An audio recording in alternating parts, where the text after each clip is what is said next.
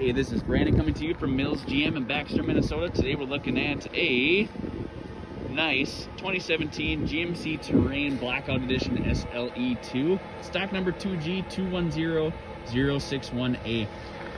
Just recently traded in here, has not gone through the shop yet, so you're gonna see this bad boy in the rock.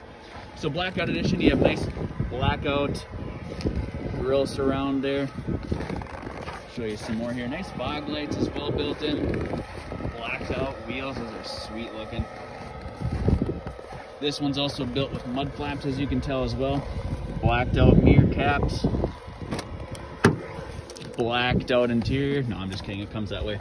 Uh, black interior does have power power seats on the driver's side and heated seats, remote start. Does have the premium Pioneer sound for the terrains heated mirrors. Overall, I mean, for not having been touched, very clean. Don't smell any smoke smell. Of course, I have my mask on too, but you can see those as well. All-wheel drive, backup camera. Oh, there we go. A little frozen there. Lots of space in the interior here as well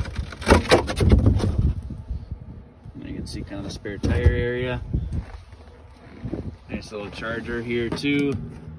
Tie down hooks on both sides.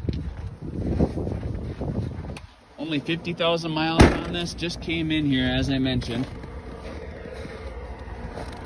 Overall, good looking ride here. I don't see any major dings, dents, scratches, things like that at all. we will be going to the shop, or this will be going to the shop soon to get checked out and of course back to detail. This does have 4G LTE Wi-Fi. You can connect seven devices within 50 feet here. There's your power seats, you can tell there. Backup camera goes right in there. Of course, it does have Bluetooth as well. AM, FM, Sirius XM satellite radio. This is a nice clean ride and it's got a sweet look with that blackout look at the black wheels, black mirror caps, and black grill surround. So if you want to check this out, do so soon. Give us a call here at Mills GM, 218-829-3504.